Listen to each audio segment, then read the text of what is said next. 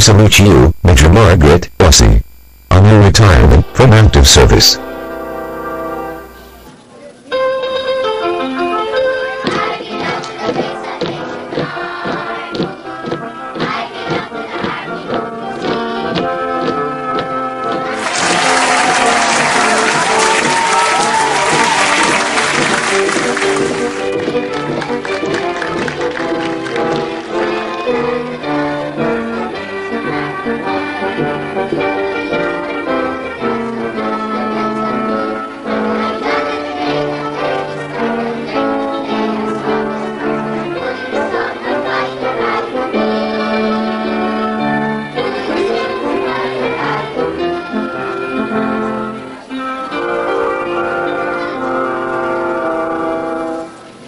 Amen.